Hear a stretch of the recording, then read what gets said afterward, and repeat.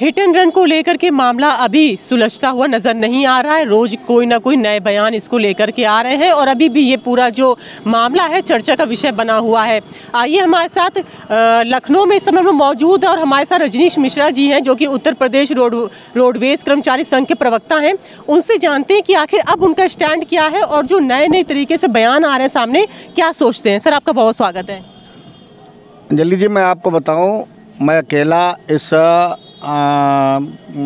आंदोलन में मेरा अकेला भूमिका नहीं है। ये समस्त जितने भी हमारे चालक बंधु खड़े हैं, परिचालक बंधु सभी इसके शिकार हैं।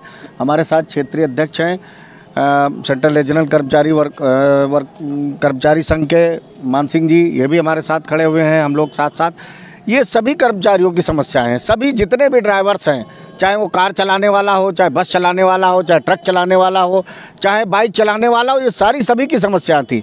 मैं लगातार तीन दिन से मॉनिटर कर रहा हूँ। मैंने आप, लगातार आपके चैनल को भी देखा है, विभिन्न चैनलों को मैं देख रहा हूँ।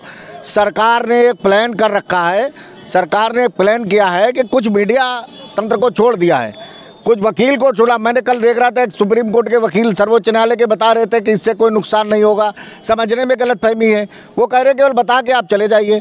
एक बात बताइए, मैं मैं गाड़ी लेकर जा रहा हूँ, ये चालक हैं, गाड़ी लेकर जा रहे हैं और सामने से कार वाला आके किसी को टक्कर मार देता है। वो वक्त टक्कर खाने के बाद इनकी गाड़ी के नीचे आ जाता है। मार के तो वो चला गया। पकड़े ये मौके पर गए। ये अगर निकल जाते हैं वहाँ से तो ये सूचना दें कि साहब फला गाड़ी से वहाँ पे एक दुर्घटना हो गई है। पुलिस पूछेगी कि पहले बताइए आप कौन बोल रहे हैं? इनका नंबर ट्रेस हो जाएगा। उसके बाद इनका नाम पता नोट करेंगे। कार वाला जब नहीं मिलेगा तो वो केस तो इनके नाम आ जाएगा ना। पुलिस तो मुकदमा लिखना लिखना है। तो सबसे बड़ी समस्या तो ये कर चालक के सामने आ रही है ना। हमने, मैं इसके विरोध में नहीं हूँ कि कानून आप ना बनाएँ। कानून बनाएँ, लेकिन उनके लिए बनाएँ जो शराब पी के गाड़ी चला रहे हैं। जो 200 की स्पीड में गाड़ी चलाते हैं। एक बात बताएँ, मैं इतनी बड़ी गाड़ी लेकर कोई व्यक्ति एक्सीडेंट करेगा, अगर ड्राइवर तो कितनी दूर भाग पाएगा? किलोमीटर, दो किलोमीटर, तीन किलोमीटर के बाद में हमारा ड्राइवर, चाहे ट्रक का हो, चाहे बस का हो, वो सिर्फ़ इस तलाश में रहता है कि या तो सुरक्षित जगह मिल जाए या कहीं पुलिस स्टेशन हमको मिल जाए, जहाँ हम पुलिस के, हमें पब्लिक की मार से बचने के लिए हम कहीं जाके पुलिस के हवाले कर दें जाके गाड़ी को। और 90 परसेंट हमारे चालक यही तो करते हैं। फिर केस को बनाने की ज़रूरत क्या है कानून को? आप ज़बरदस्ती ये थोपने की आवश्यकता क्या है? और मैं देख रहा हूँ कि पूरे, पूरा इसको लगा दिया गया है स्ट्रक्चर खड़ा कर दिया गया इसको लेकर। कहीं कोई मंत्री का बयान आ रहा है, कहीं सुप्रीम कोर्ट के वकील अपनी ज्ञान आप दे रहे हैं। ज्ञान देने से मतलब सुधार नहीं होगा। अगर सुधार करना है तो आप अमेरिका, आप जाते हैं, मैंने माननीय मंत्री जी अमेरिका गए, वहाँ ब्रिटेन गए, फ्रांस गए, जर्मनी गए, जापान गए, कनाडा गए, वहाँ की सड़कें आपने देखी। लेकिन मैम, आप देखिए, जिस लेन में कार चलाने बाइक चलाने के लिए लेन छोड़ी जाती है, यहाँ तो पैदल के लिए जो बनाया गया, उसमें भी लोग बाइक और कार घुसेड़ देते हैं, अगर जाम लगता है। तो पहले आप स्ट्रक्चर को सुधारिए। आप एक स्ट्रक्चर को सुधारिए कि यहाँ बसें चलेंगी, ट्रकें चलेंगे इस लेन में। दूसरा, नहीं घुसेगा, और घुसेगा तो ऑटोमेटिक उसका चालान हो जाएगा। ऑटोमेटिक जो विदेश में है कि उसके खाते से पैसा कट जाएगा। दस हज़ार, बीस हज़ार का जुर्माना हो जाएगा। अपने आप बंद हो जाएगा सब कुछ। जब लोग लेन तोड़ेंगे नहीं लाल बत्ती नहीं क्रॉस करेंगे तो कैसे दुर्घटना हो जाएँगी?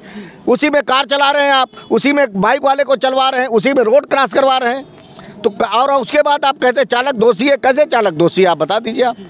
सर देश के प्रधानमंत्री और गृह मंत्री अमित शाह से अब आपकी क्या मांग है? ये भी सुनने में आ रहा है कि अगर ये कानून नहीं रुका तो अनिश्चितकालीन जो है हड़ताल पे आप लोग जाएँगे। मैम देखिए हम मजदूर हैं ये जितने भी चालक हैं, हमारी कोई बहुत बड़ी वो मांग नहीं, डिमांड नहीं सरकार से।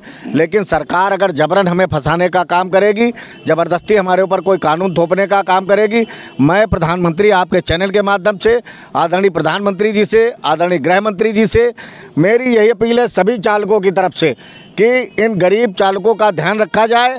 हम जानबूझ के कोई दुर्घटना नहीं करते हैं।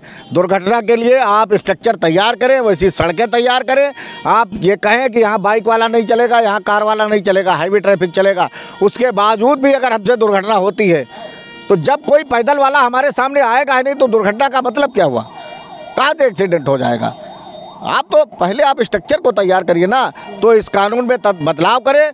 और अगर करना है, ये हिट एंड रन कानून उनके ऊपर लागू होता है, जो रात में फुटपाथ पे गाड़ी चढ़ा देते हैं, शराब के नशे में बड़े बड़े आईएएस के बच्चे आईपीएस के लड़के, और जाके चढ़ा देते हैं गाड़ियाँ फुटपाथ पर सोए हुए मजदूरों के ऊपर। ये हिट एंड रन कानून, उसके बाद भाग जाते हैं। ये हिट एंड कानून उनके ऊपर लागू करिए आप। ये सर, आप- जो ट्रक बस चलाने वाले जो देश की अर्थव्यवस्था में अपना पूरा योगदान दे रहे हैं जो प्रदेश की जनता को एक दूसरे स्थान से पहुँचाने का काम देश के लोगों को कर रहे हैं जनता की सेवा कर रहे हैं उनके ऊपर हिट एंड रन कानून लागू करने का कोई मतलब नहीं बनता मैं अ, मेरा आपसे ये आखिरी सवाल है। ठीक है जैसे आपने कहा कि क्या कहते हैं ये सारी चीज़ें जो दारू पी के चलाते हैं उन पर लागू होनी चाहिए। लेकिन सरकार के पास कोई दो सजेशन कोई दो सलाह इस कानून को लेकर के कोई प्रावधान में बदलाव मतलब प्रावधान में बदलाव जैसे भी दस साल की सज़ा है और सात लाख रुपये का जुर्माना है उसमें अगर कम करे सरकार तो क्या करे किस हिसाब से करे? नहीं मैम कम करने का धारा 304 एक थी इन्होंने आ, जो आ, इंडियन पीनल कोड था उसमें बदलाव कर दिया उसे न्याय संहिता का नाम दे दिया हम उसके लिए उसके पक्ष विपक्ष में नहीं है, ना हमारा कोई चालक, उसके भी सरकार जो अच्छा काम करे, हमें कोई दिक्कत नहीं उसमें। लेकिन कम से कम ये तो ध्यान रखे कि आप ज़बरदस्ती किसी को थोपने का प्रयास कर रहे हैं, कहाँ से सात लाख रुपया एक ड्राइवर देगा? आप बताइए, इस ड्राइवर के पास सात लाख रुपया, इसकी हालत देख रहे हैं आप? ये बस चला के दस बारह हज़ार रुपया कमा रहे हम लोग कहाँ से पैसा लाएँगे, आप बताइए? अगर कोई दुर्घटना हो जाती है, ये गाड़ी लेके जा रहे हैं, सामने से कोई भाग खड़ा होता है, कट से निकल के आ जाता है, टकरा जाता है तो मामला तो सारा पुलिस के हाथ में दे दिया आपने। अब पुलिस कहे कि दो लाख रुपया दो, नहीं तो आपके ऊपर हम एक सौ छः लागू करेंगे, हिट एंड रन कानून लागू करेंगे। और ये पब्लिक दौड़ाती है, ये भाग, बचाव में भागेगा तो ज़रूरी। और अगर हम सूचना पुलिस को देते तो हम तो सीधे सीधे मुलजिम हो गए ना। कि अगर हम सूचना पुलिस को मैम दे रहे हैं तो आपको सूचना दे दी तो आप कहेंगे फला नंबर से आया था, इसका पता नोट करो। पता आया, हमारा नाम पता सब आ गया, उसके बाद कहेंगे आप तो मुलजिम हैं, उठा के हमको अंदर कर देगी पुलिस। हम अपनी बात कहाँ कहने जाए ना तो मैं आपके चैनल के माध्यम से, सरकार से मेरा यही है कि जो लोग इसका दुरुपयोग कर रहे हैं, उनके खिलाफ ये कानून लागू होना चाहिए, उनमें बदलाव करें। सरकार के पास स्ट्रक्चर है, उनकी पुलिस है, उनके तमाम ब्यूरोक्रेसी है। लोगों को, वो उनको सक्रिय करें ना, उनके पास मशीन है। शराब पीने वालों को गाड़ी चलाने पर अंकुश लगाएँ और हमारे यहाँ तो अगर मैं उत्तर प्रदेश राज्य सड़क परिवहन निगम की बात करूँ, हमारे क्षेत्रीय अध्यक्ष भी मौजूद है। हमारे यहाँ तो बराबर जितने चालक हैं, हमारे जितने चेकिंग स्क्वाड लगे हुए हैं, आदरणीय प्रबंध निदेशक महोदय ने लगा रखा है, बराबर रास्ते में चेकिंग होती है, सबकी शराब चेक की जाती है, ड्राइवरों को बाकायदा हमारे पास में मशीनें हैं, जो चेकिंग स्क्वाड हमारे रास्ते में है, वो रात्रि, रात्र में, दिन में भी बराबर चेक करते हैं। अगर कोई शराब पी के हमारा चालक गाड़ी चलाते पाया जाए तो उसके खिलाफ कठोर कार्रवाई की जाती है। सर, उत्तर प्रदेश में कुल कितने चालक हैं? हमारे यहाँ तो करीब पचपन हज़ार कर्मचारी हैं, इसमें करीब बीस से पच्चीस हज़ार के करीब चालक हैं हमारे पास में। अट्ठाईस हाँ बीस हज़ार के आसपास चालक हमारे पास में तो हमारे पास हमारा स्ट्रक्चर हम तो जनता की सेवा के लिए मैम बने हुए ना। या तो सरकार इनके लिए करे, इनको सबको नियमित कर दे, जो नियमित कर्मचारियों का वेतन मिलता है, हर कर्मचारी को जब चालीस पचास हज़ार वेतन मिलेगा, उसकी क्षमता हो जाएगी चालक पर चालक को। तो वो जुर्माना भी भुगतने के अधीन होगा। सरकार राज्य कर्मचारी घोषित कर दे इनको सबको। कि राज्य कर्मचारी है, जो कुछ होगा स्ट्रक्चर खड़ा कर दे। तो ये अपना, अगर किसी को वेतन मिलेगा, पैसा मिलेगा तो भुगतने को भी तैयार हो जाएगा। सारे जितने अंडर अनुबंधित से लेकर, जितने भी चालक हैं, सब राज्य कर्मचारी हो जाएँगे। सरकार घोषित करे, नहीं करेगी ना, मैम। इसलिए क्योंकि दस हज़ार में हमसे मजदूरी कराने पर सरकार को भी मज़ा आ रहा है।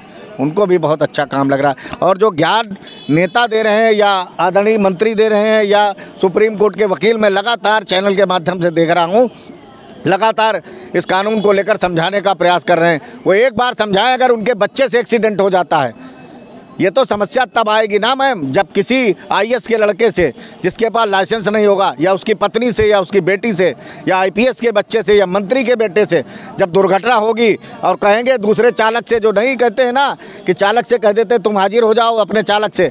फिर वो मना करके भाग जाएगा कि नहीं, साहब, मैं हाजिर नहीं होऊँगा। दस साल की सज़ा मुझे हो सकती है दुर्घटना में। जब उनका बच्चा जेल जाएगा हिट एंड रन कानून में, इनके बच्चे को जेल जाने, उनकी पत्नी को जेल होगी, उनके, इनकी बेटी को जब जेल जाने की नौबत आएगी तब समझ में आएगा हिट एंड कानून, ये कानून जो पास करे, जिसमें ज्ञान बांटने वाले जो लोग हैं, इन्हें तब समझ में आएगा कि इसके, इसका मज़ा क्या होता है कानून का। बहुत बहुत धन्यवाद सर हमसे बात करने के लिए। तो रजनीश मिश्रा थे, हमारे साथ इस समय उत्तर प्रदेश रोडवेज़ कर्मचारी संघ के जो प्रवक्ता हैं तो उन्होंने बताया कि किस तरह से इस कानून में बदलाव होना चाहिए।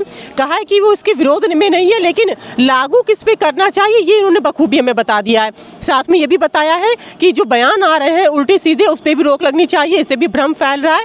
और अभी भी कर्मचारी अपनी बात पर डटे हुए हैं, उनका कहना है कि इस कानून में कोई ना कोई बदलाव ज़रूर करना चाहिए, तब तक ये लोग हटेंगे नहीं।